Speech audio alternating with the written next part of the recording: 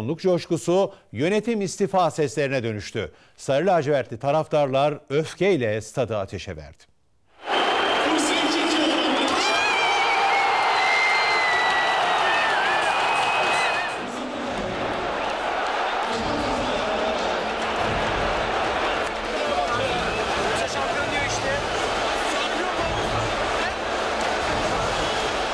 Yakarız dünyayı şampiyonluk gelince dediler, şampiyonluk gidince Fenerbahçe Şükrü Saraçoğlu stadını yaktılar. Kadıköy'de dün akşam uzun yıllar unutulamayacak bir futbol dramı yaşandı.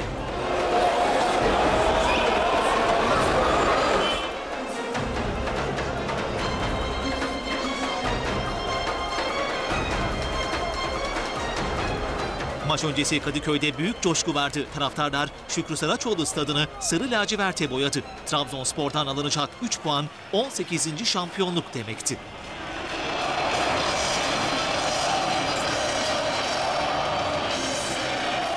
Fenerbahçe tribünlerinde maçın sloganı yakarız dünyayı şampiyonluk gelinceydi. Taraftarlar takımına inanıyordu.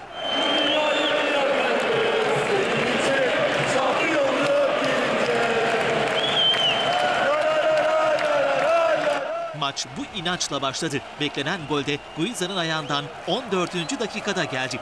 Slogan gol sonrasında gerçek oluyordu. Kale arkasındaki tribünde yangın çıktı.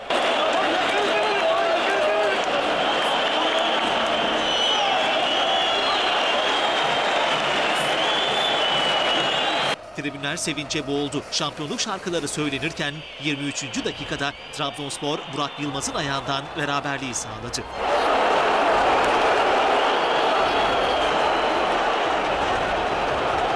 Sıkıntılı anlar yeniden golle başladı. Ardarda arda kaçan goller tribünlerdeki sarı lacivertli taraftarlara saç baş yoldurdu.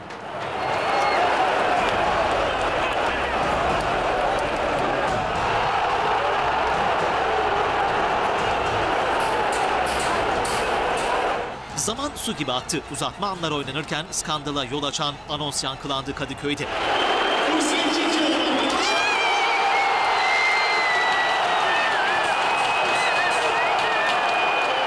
Oysa o anons yapılmasa Fenerbahçeli futbolcular rehavete kavuşmayacak, ablukaya aldıkları Trabzon kalesine ikinci golü gönderebileceklerdi belki de.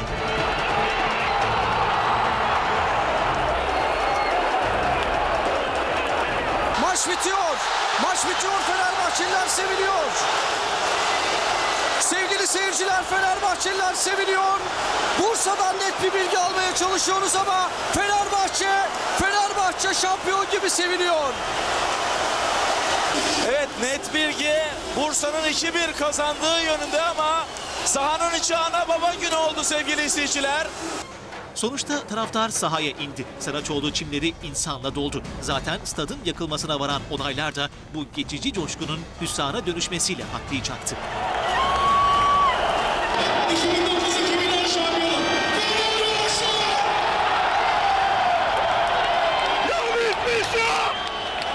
Ve Kadıköy'ü yıkan ikinci anons yapıldı. Sevinç bir anda şoka dönüştü. Arkadaşlar bitmiyormuş.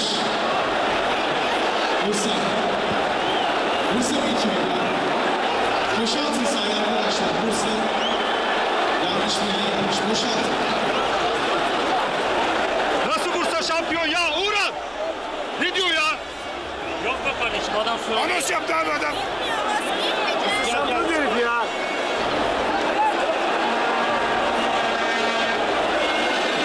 Maçın hakem dörtlüsü ve az sayıdaki Trabzon taraftarı kutlamalar sırasında stadı terk etti. Bu da olayların boyutunun büyümesinin önüne geçti.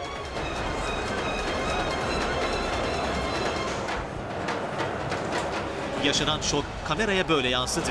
Bursa şampiyon yazıyor. 2-1.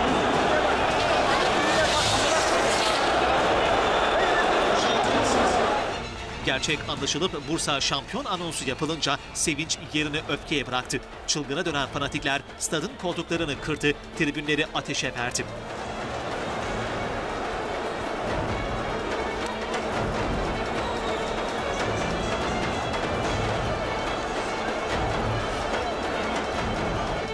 Tribünleri sakinleştirmek mümkün olmadı. Şampiyonluk gelince dünyayı yakarız diyen sarı lacivertliler kaçan şampiyonluğun acısını stat'tan çıkardı.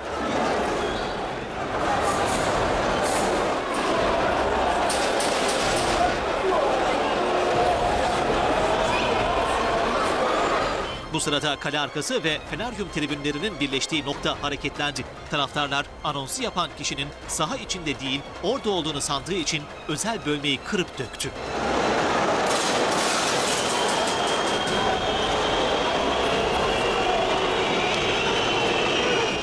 İnfial giderek büyüdü. Saraçoğlu farklı noktalardan alev aldı. Fanatikler oturdukları bölümleri ard arda ateşe verdi. Hem kale arkası hem maraton tribünü yanıyordu.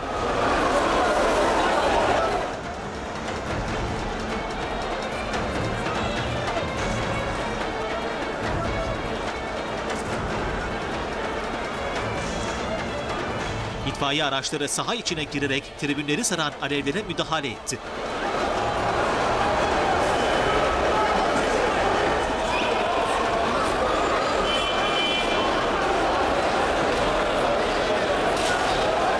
Yükselen alevlerle stat facianın eşiğine geldi.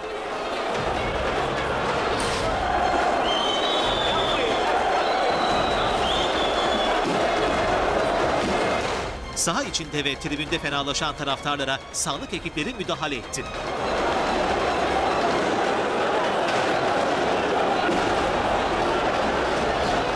Şampiyon olduk derken büyük acı yaşayan taraftarların çoğu tribünde çökmüş stadın yanışını üzgün gözlerle izliyordu.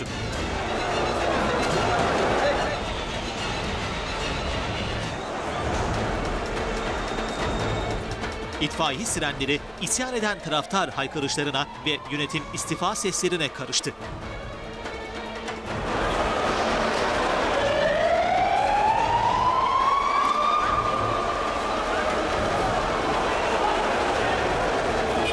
Kimi ise olan biteni aldırmadan sahanın ortasında hatıra fotoğrafı çektiriyordu. Saraçoğlu'nda tam bir travma durumu hakim oldu.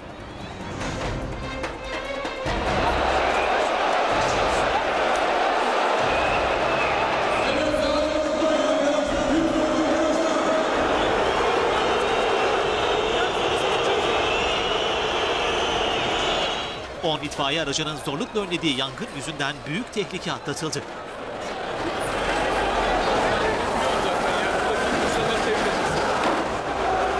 Arkadaşlar stadı boşaltalım arkadaşlar. Yardımcı olun bize.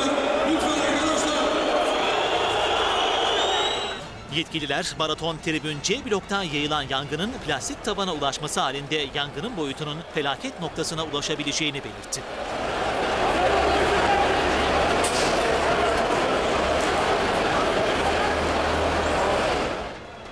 İtfaiye ekipleri alevlerle mücadele ederken güvenlik güçleri saha içindeki taraftarları sahadan çıkarma çabasındaydı.